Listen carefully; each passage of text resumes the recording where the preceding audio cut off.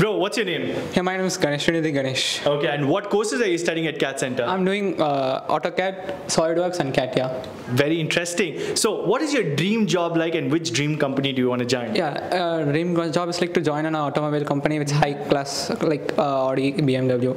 Uh, like Okay, very interesting. And what do you think about CADD Centre's first job, Pakka? Yeah, first job pakka like uh, generally in India this is a common thing right uh, uh, engineer's first job is like tough to get so in this uh, CADD Centre first job pakka it will be like uh, at a push towards the first job uh, to get a first job so there will be more employment to the youngsters Very interesting. More power to the youngsters. But tell me this: Would you apply for your first job with CADD Centre? yeah yeah sure And if you want to get your first job within eight years, then check out CADD Centre. first job pakka